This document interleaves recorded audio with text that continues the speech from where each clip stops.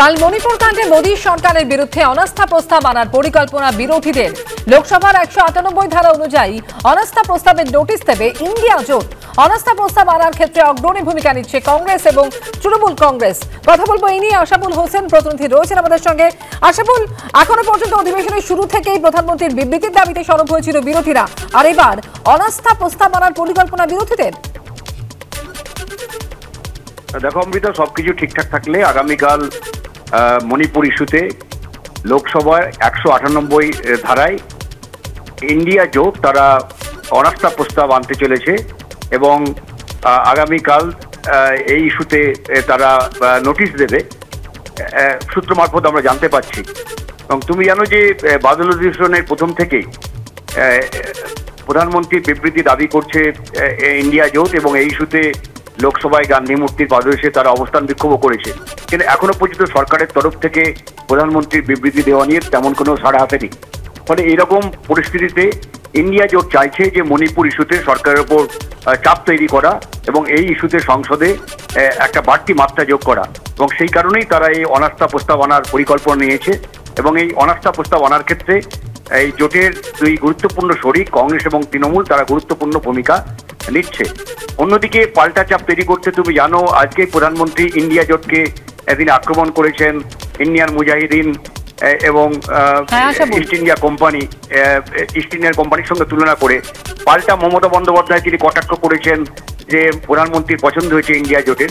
ফলে চাপ পাল্টা চাপে রাজনীতি চলছে এবং সবকিছু ঠিকঠাক থাকলে আগে আগামীকাল যদি ইন্ডিয়া জোট এই অনাস্থা প্রস্তাব আনতে নোটিশ দেয় তাহলে সেটা এই মণিপুর ইস্যুতে একটা নতুন মাত্রা যোগ করবে বলেই মনে করছেন রাজনৈতিক পর্যবেক্ষকরা ধন্যবাদ আশাবুল এখনও পৌঁছয়নি কিন্তু আহ, তৎপরতা কিন্তু জেলের সামনে আমরা দেখতে পাচ্ছি। সংশোধনাগার প্রেসিডেন্সি সংশোধনাগার অঞ্জন বিশ্বাস এই ছবি দেখাচ্ছে এবং এখানে আহ, কয়েকটা গাড়ি বেরোলো কয়েকটা গাড়ি ঢুকলো কিন্তু এখনও পর্যন্ত সিবিআই আধিকারিকরা আসেননি। তুমি জানো যে দুর্নীতির বিরুদ্ধে আজকে কার্যত খড়গহস্ত বিচারপতি অভিজিৎ গঙ্গোপাধ্যায়। দু হাজার কুড়ির একটা মামলা, সেই মামলায় বিচারপতি গঙ্গোপাধ্যায় আজকের মধ্যে সিবিআই কে এই প্রেসিডেন্সি সংশোধনাগারে যেখানে অক্টোবর থেকে বন্দী আছেন মানিক ভট্টাচার্য, সেখানে এসে জিজ্ঞাসাবাদ করার নির্দেশ দিয়েছেন। এবং যে কোনো মুহূর্তে সিবিআই আধিকারিকরা আসবেন, এখানেই বন্দী আছেন পার্থ চট্টোপাধ্যায়, প্রাক্তন শিক্ষামন্ত্রী। এবং আদালত যেটা মনে করছে যে দু হাজার কুড়ির যে নিয়োগ দুর্নীতি মামলা সেই দুর্নীতি মামলায় দুর্নীতি হয়েছে এবং সেই দুর্নীতিতে আর্থিক লেনদেনও হয়েছে, এটা আদালত মনে করছে। এবং যেটা আদালত প্রকাশ্যে বলছে এবং বিচারপতি অভিজিৎ গঙ্গোপাধ্যায় বলছেন যে এই যে দুর্নীতি হয়েছে, এটা একটা ডিজাইনড করাপশন অর্থাৎ পরিকল্পিত দুর্নীতি। এবং যে দুর্নীতি পর্ষদ করেছে, প্রাথমিক শিক্ষা পর্ষদ, এবং যার নেতৃত্ব দিয়েছেন মানিক ভট্টাচার্য। ইতিমধ্যে মানিক ভট্টাচার্যের বিরুদ্ধে একাধিক অভিযোগ এসছে, একাধিকবার জিজ্ঞাসাবাদ করা হয়েছে, তিনি অক্টোবর থেকে এই জায়গাতেই বন্দী আছেন। কিন্তু একদম একটি পৃথক মামলায় বিচারপতি গঙ্গোপাধ্যায় দুর্নীতির কথা বলতে গিয়ে যেভাবে খর্গহস্ত হয়েছেন দুর্নীতির বিরুদ্ধে কার্যত হতবাক হয়ে গেছেন। কারণ দুর্নীতির পরতে পরতে যেভাবে প্রকাশ্যে এসছে এবং তাতেও মানিক ভট্টাচার্য তার নেতৃত্ব দিয়েছেন এমনটাই আদালত মনে করছে। এবং প্রয়োজনে সিবিআই কে হেফাজতে নিয়ে জিজ্ঞাসাবাদ করতে বলা হয়েছে।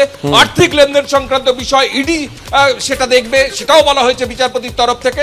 এবং দুর্নীতির বিরুদ্ধে কার্যত আজকে কড়া বার্তা দিয়ে আজকের মধ্যে জিজ্ঞাসাবাদ কড়া বার্তা দিয়েছেন আমাদের আরেক প্রতিনিধি ময়ূক ঠাকুর চক্রবর্তীর সঙ্গে কথা বলব। একেবারে ময়ূক, এটা কোর্ট পরিষ্কার করে দিয়েছে। আজকে মহামান্য বিচারপতি যখন বলছেন যে কোর্ট বিশ্বাস করে যে মানিক ভট্টাচার্য অথবা পর্ষদের ঘনিষ্ঠ কাউকে সুবিধে পাইয়ে দিতে এই ধরনের দুর্নীতি করা হয়েছে।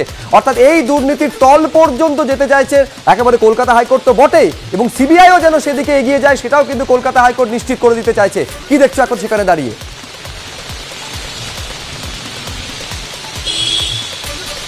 দেখো, একদমই শুভ্রজিৎ সেই কারণেই কিন্তু কলকাতা হাইকোর্টের তরফ থেকে বলা হয়েছে যে প্রাথমিক শিক্ষা পর্ষদের সভাপতি জেলবন্দি মানিক ভট্টাচার্যকে প্রয়োজনে নিজেদের হেফাজতে নিয়ে জিজ্ঞাসাবাদ করতে করতে পারে সিবিআই।